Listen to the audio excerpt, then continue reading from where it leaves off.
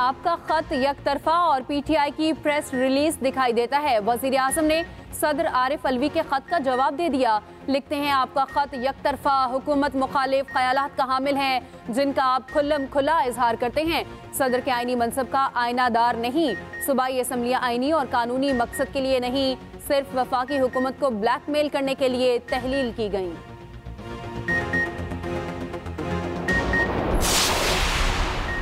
सदर मुमलिकत ने शहबाज शरीफ को आइन पर अमल करने का मशवरा दिया। ज़ाहिर है, ये बात इनको तहरीक इंसाफ की प्रेस रिलीज़ ही नज़र आएगी। फवाद चौधरी का रद्द अमल, कहा अगर सदर के असम्बली तोड़ने और नए इलेक्शन में जाने के इकदाम पर अमल होता तो आज मुल्क इस आइनी, सियासी और मुआशी गर्दाब में ना होता और हम मुस्तकम जमहूरियत होते।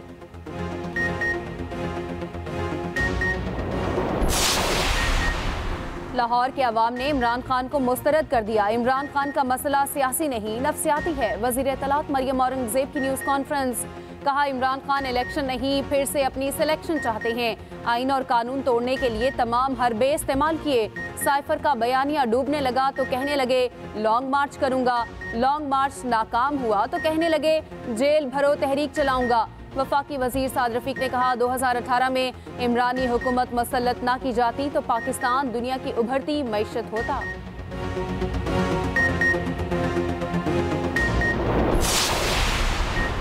मरकजी सदर तहरीक इंसाफ परवेज इलाही कहते हैं, मीनार पाकिस्तान जलसे में आवाम ने इमरान खान के हक में फैसला सुना दिया। कहा, इमरान खान इस वक्त पाकिस्तान के सबसे मकबूल तरीन लीडर हैं। लाहौर के जलसे से मुखालफी की आँखें खुल गई होंगी।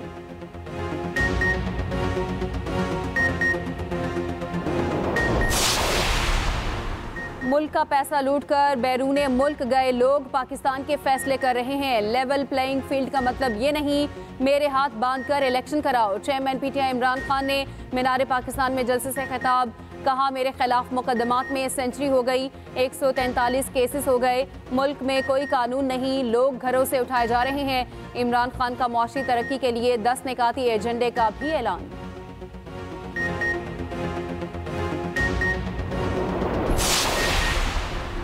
हसान न्याजी की मुश्किल कम ना हुई। कोयटा में जुडिशल मजिस्ट्रेट की अदालत में पेशी। अदालत ने हसान न्याजी को राहदारी रिमांड पर पंजाब पुलिस के हवाले कर दिया। पंजाब पुलिस पीटीआई रहनुमा को लेकर लाहौर रवाना। महकमा दाखिला पंजाब ने हवालगी के लिए बलूचिस्तान हुकूमत को मरासला लिखा था। लाहौर पुलिस को हसान न्याजी कातिल के मुकदमे में मतलूब हैं।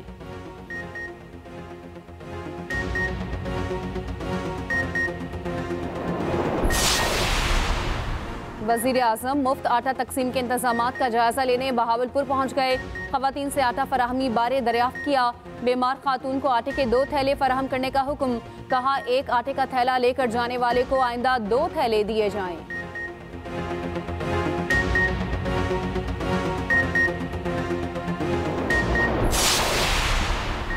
मीनार पाकिस्तान को पीटीआई जलसे के बाद कचरे और गंदगी के सोनामी का सामना। इकबाल पार्क में हर तरफ़ कचरा, गंदगी के अंबार लग गए। पौधे और सब सा तबाह हो गया, जंगले भी टूट गए। पीएचए का एक करोड़ बीस लाख रुपए के नुकसान का तखमीना।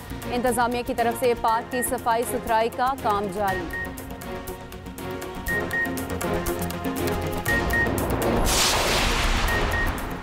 पाकिस्तान की 60 फ़ीसद आबादी की मरदमशुमारी की जा चुकी। चार अप्रैल तक डिजिटल मरदम खाना शुमारी मुकम्मल कर ली जाएगी। वफाकी चीफ शुमारियात नईम ज़फ़र ने बताया, अब तक मुल्क भर में 14 करोड़ और कराची में पचासी लाख अफराद गिने जा चुके हैं। शहर कायद में काम कुछ ताखिर का शिकार है। हर शख्स और इमारत को गिना जा रहा है। पाकपतन में एक ही खानदान के सात अफराद के कत्ल की तहकीकात। पुलिस ने मुकदमे में नामजद दो मुलजिमों को गिरफ़्तार कर लिया। मुलजिमों को जदीद टेक्नोलॉजी की मदद से गिरफ़्तार किया गया। गुजशत रोज बड़ी राख में जायदाद के तनाज़े पर भाई ने अपने दो भाइयों, माँ, भाभी और तीन भतीजों को कत्ल कर दिया था।